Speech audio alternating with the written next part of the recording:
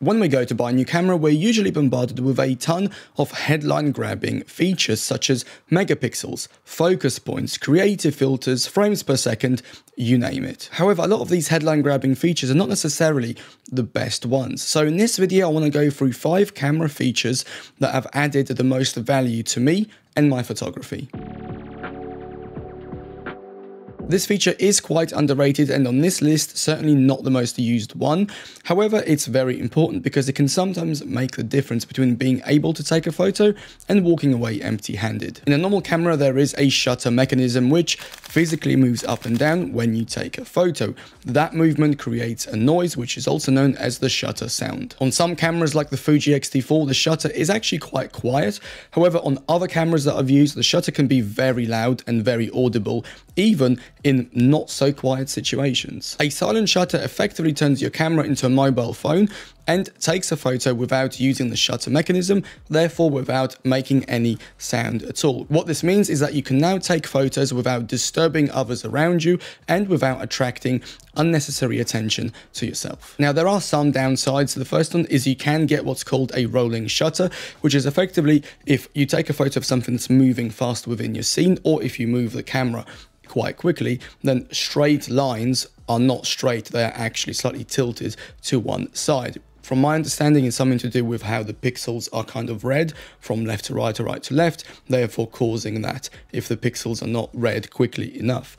The other downside is that under certain fluorescent lighting conditions, you can get very weird color casts affecting all or part of the image, which in post are almost impossible to remove or mask. However, both of these scenarios are quite rare, and now that you know the limitations, you can just work around them.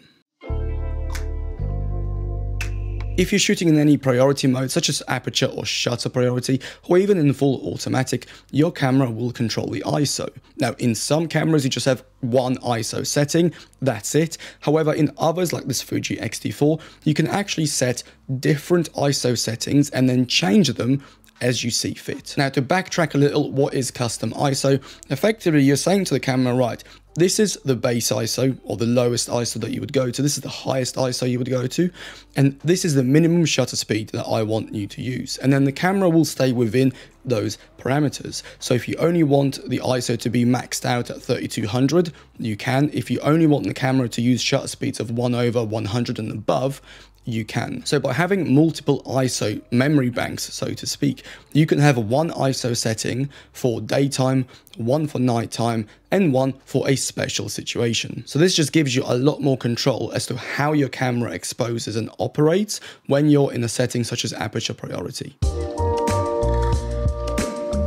The next feature that I find invaluable is the ability to either lock focus, exposure, or both of them on the same button. Let's start with exposure. Honestly, I think every camera has an AEL or auto exposure lock button.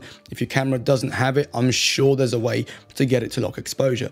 Basically, you point your camera at a certain subject or certain view, press and hold auto exposure lock, and then when you recompose, then the exposure will not change when you take a photo. So this is fantastic for, let's say, getting an exposure from a brighter part of the scene and then recomposing to get a slightly different look on a different part of the scene. Also, this is useful when you want to lock in that exposure and you don't want it to change as people or other objects are walking in and out of the frame. Next, we have focus lock. And again, I think a lot of cameras will have it and it's the same thing as exposure just with focus. So you can effectively focus on a particular subject or a particular background lock that focus, recompose, put other elements in front of your lens, have people walking in and out of your frame, and when you take a photo, you know full well that the camera will not try to then refocus on something else or something that's popped into the frame. Personally, I use this all the time for having foreground elements or something that's just like, you know, in front of the lens. And finally, we have auto exposure and autofocus lock on the same button. Now this is a feature that I know Fuji cameras come with, but I've not seen it as much in other brands. I could be wrong. Um, effectively, you just put both of those features on one button. So when you press and hold it, your exposure is locked and your focus is locked at the same time. This is actually the one that I use the most. So I will focus, I will expose for a particular point in the frame, lock everything off, and then I can change the composition without worrying about my exposure or my focus. Unfortunately, I can't actually show you the highlights priority mode because for some reason Fujifilm cameras don't have that. However, other cameras like I think Sony and Ricoh have a highlight priority mode, which I personally love and I wish it would come to Fujifilm at some point soon. Now let's backtrack a little bit. So your camera will have different auto exposure metering modes. The highlight priority mode simply means that your camera will prioritize exposing for the brightest parts of your image. So if you're going for that traditional, let's say uh, highlights and shadow, high contrast look, then the camera will expose just for the highlights. Therefore, it makes your life as a photographer much easier when it comes to getting the right exposure for that style of photography. It takes a ton of hassle out of metering for the highlights and honestly after using my mate's Ricoh and using that particular feature going back to the Fuji without it was definitely a bit of a pain. However, there is a way around it, and for that, I just use the center weighted metering mode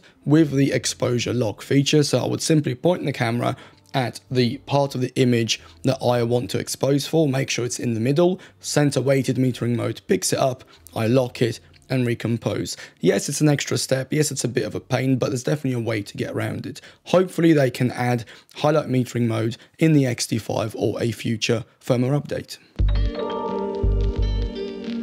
Alright, this is not strictly a camera feature, it's more of a lens feature, but I also think that certain camera systems tend to prefer having aperture dials, whereas others prefer more modern look with having everything on like scroll wheels and stuff like that. But from my experience having used both systems, Honestly, once you've used an aperture ring on your lens, it's very hard to go to another brand or another lens which doesn't have that. Obviously, a very quick caveat, this only actually applies to you if you're shooting in aperture priority or in manual. If you're shooting in shutter priority or you always have aperture on auto, then you can probably disregard this. Now, for most of us, the aperture is the single most creative control that we have on the camera. It really has the biggest influence, in my opinion, on the end result. So you can control what the viewer would look at, what they won't look at, what's in focus and what's out of focus, all with that one dial. Not to mention that it's also probably the quickest way to control how much light is coming in and out of your camera. By having the aperture dial on the lens with clear aperture value markings, you save yourself so much time and headache. First of all, you always know what aperture value you're in just by looking down on your camera without having to switch it on and look at the back of the screen.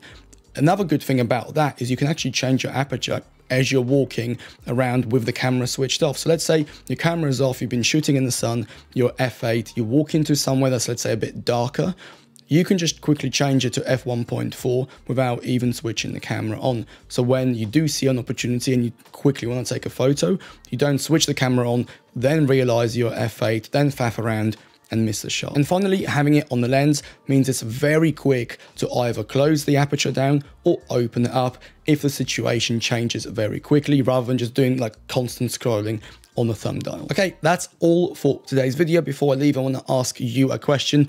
What camera features have you found the most useful?